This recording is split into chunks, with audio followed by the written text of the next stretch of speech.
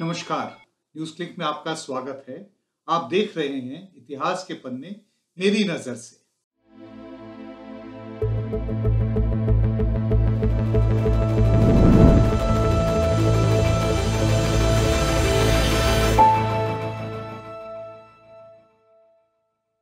हिंदुस्तान में corona virus pandemic के media coverage में बहुत अटेंशन मार्च के आखिरी दिनों से तबलीगी जमात के मरकज निजामुद्दीन को दिया गया है।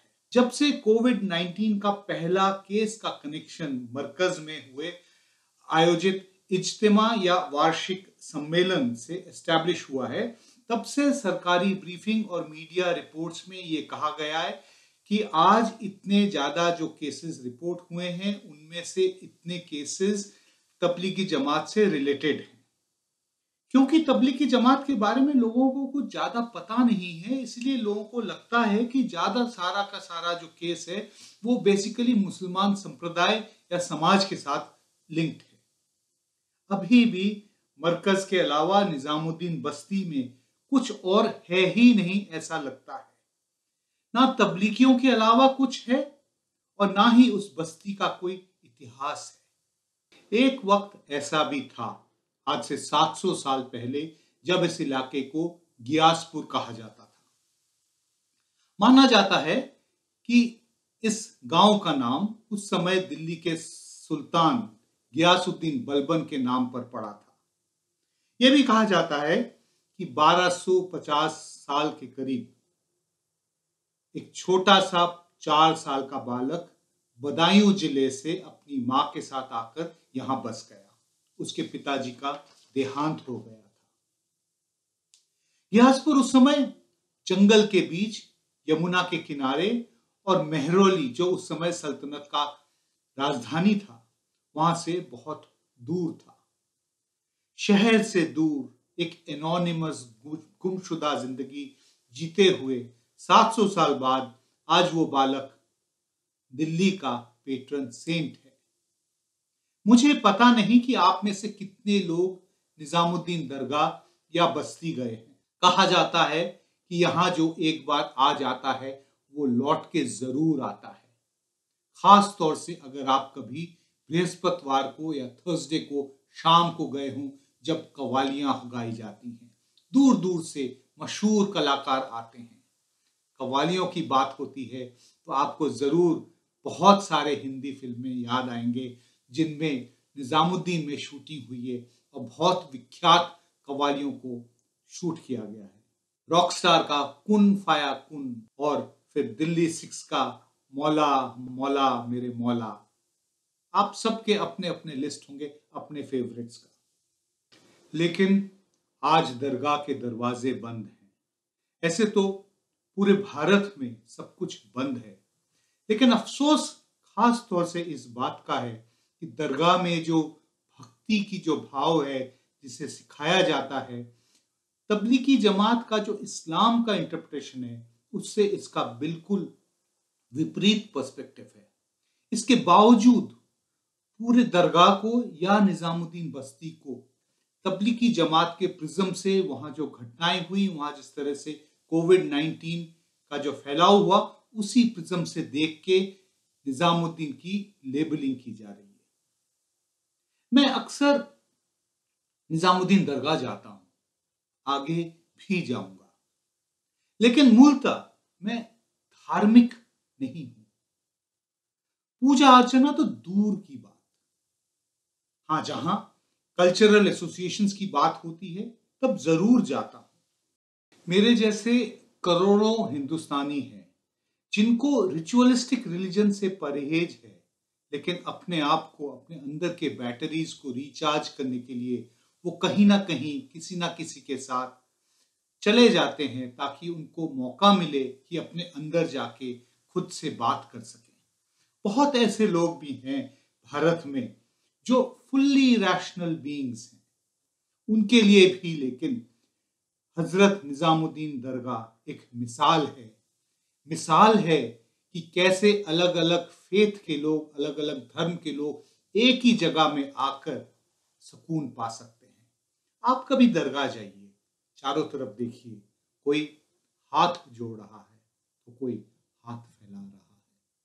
यही है हमारे देश की धरोहर, यही है हमारे देश की कॉम्पोजिट कल्चर लेकिन अब यही खतरे में है। हज़रत निजामुद्दीन चिश्तिया सिलसिला के सूफी संत थे। इस जीवन पद्धति और सोच की शुरुआत मोइनुद्दीन चिश्ती, जिनका दरगाह अजमेर में है, उन्होंने शुरुआत की थी।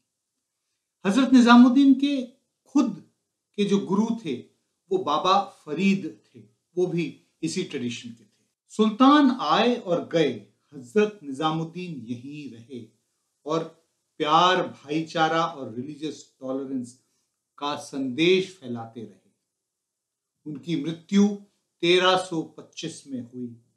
आज जो दरगाह हम देखते हैं, वो इसके बाद बनाई गई थी। ग्यासपुर का नाम बदलकर भी निजामुद्दीन इसी वक्त, इसी समय कर दिया गया। आज इसको प्यार से लोग हज़रत निजामुद्दीन बस्ती के नाम से जानते हैं। बताया जाता है कि दिल्ली कई बार बसी और उजड़ी, लेकिन जब से निजामुद्दीन बसी, तब से अभी तक नहीं उजड़ी है। लॉकडाउन खुलने के बाद अगर आप दरगाह जाएँगे तो देखेंगे फकीर, तपस्वी अलग अलग लोग सब वहाँ खुद घूम रहे हैं, बैठे हुए हैं।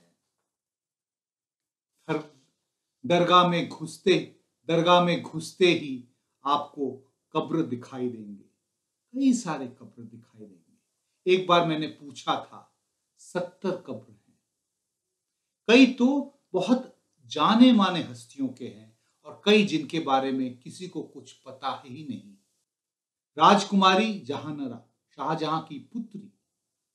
मुगल बादशाह मोहम्मद शाह रंगीला। बहादुर शाह ज़फ़र के भाई मिर्ज़ा बाबर और मिर्ज़ा जहांगीर। चौदहवीं शताब्दी के इतिहासकार जियाउद्दीन बरानी, जिन्होंने हज़रत निजामुद्दीन के बारे में काफ़ी कुछ लिखा था। मुगल बादशाह हुमायूं उनका भी मकबरा निजामुद्दीन बस्ती के पास ही में है और मिर्ज़ा गालिब का तो जो मज़ार है, वो बस्ती के अंदर ही है। बहादुर शाह ज़फ़र भी दिल्ली में दफनाना चाहते थे कि उन्हें भी दफनाया जाए। उन्होंने निज़ामुद्दीन में नहीं, बल्कि मेहरौली में, बख्तियार का की दरगाह में दो गज ज़मीन अपने लिए माक करके रखी थी। बख्तियार काकी भी इसी सिलसिले के सूफी संत थे। बख्तियार काकी का दरगाह भी दिल्ली के सेकुलर ट्रेडिशन को दर्शाता है। हर साल फूल वालों की सैर यहीं से शुरुआत होती है। लेकिन हज़रत निज़ामुद्दीन दरगाह के अंदर जो सबसे मशहूर इंसान का मकबरा है, वो है आमेर खुसरो, जो उस वक्त के सबसे बड़े लेखक और कवि थे। जो भी दर्शन करने आता है, उसको सबसे पहले यहाँ मत्था टेकना होता है, उसी के बाद आगे जाते हैं। आमिर खुसरो भले ही बहुत सुल्तानों के कोट पोएट रहे हों, लेकिन वो हज़रत निज़ामुद्दीन के बिल्कुल बहुत बड़े शिष्य थे। अगर निज़ामुद्दीन को, अगर हज़रत निज़ामुद्दीन को हम दिल्ली के स्पिरिचुअल गुरु माने तो आमिर खुसरो ना सिर्फ़ दिल्ली के, बल्कि पूरे हिंदुस्तान के एक तरह से लिटरेरी मार्गदर्शक माना जाना चाहिए। उनके जीवन काल में ही उनको तूतिया हिंद या पैरट ऑफ़ इंडिया कहा जाता था। हिंदुस्तान के मिडिवल एरा के सबसे प्रसिद्ध कवि थे ये, और उन्होंने फारसी में तो लिखा ही, लेकिन उसके साथ हिंदुवी को बहुत पॉपुलराइज किया। खुसरो को खड़ी बोली हिंदी का पहला कवि माना जाता है। उनकी इच्छा ये थी कि मृत्यु के बाद उनको यहीं दफनाया जाए हज़रत निज़ामुद्दीन के पास में।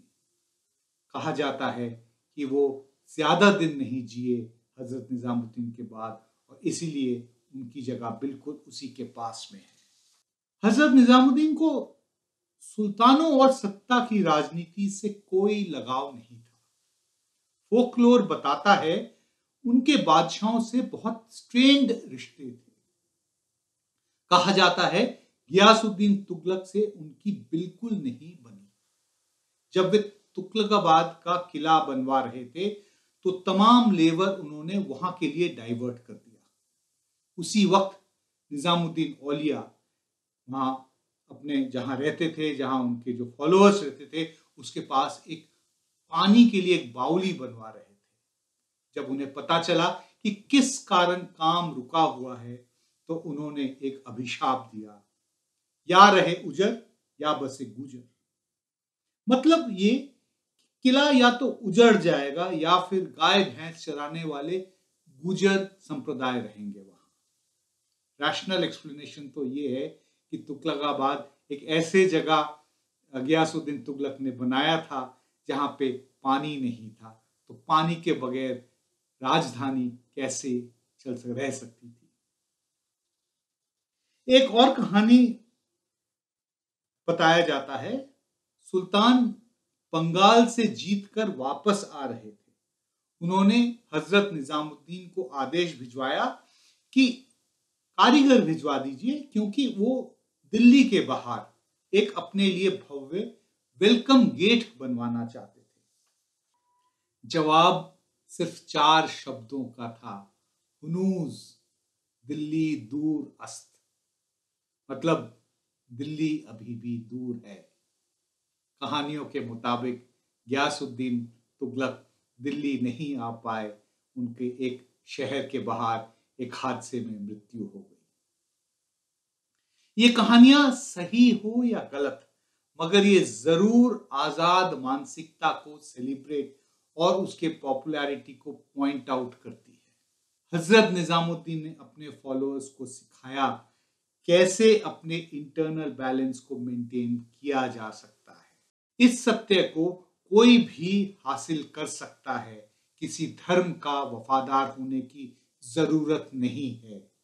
हज़रत निजामुद्दीन हज़रत निजामुद्दीन दरगाह और उसके चारों तरफ़ की बस्ती का यही ट्रेडिशन है। कुछ साल बाद 2025 में हज़रत निजामुद्दीन का सात सौवा उर्स मनाया जाएगा। उसके लिए सेक्युलर ट्रेडिशन को बनाए रखना होगा। यही हमारे लिए आज बहुत बड़ा काम है। नमस्कार।